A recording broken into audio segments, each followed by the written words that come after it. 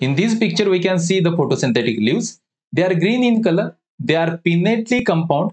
They have long rachis along which the pinnae or leaflets are arranged.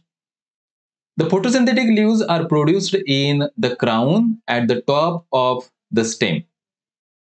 The non-photosynthetic leaves, they are brown in color and protective in nature.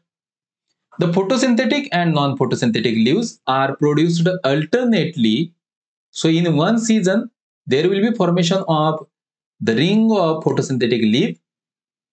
In another season, it is followed by the formation of the non-photosynthetic leaves, brown leaves. The leaflet shows presence of single midrib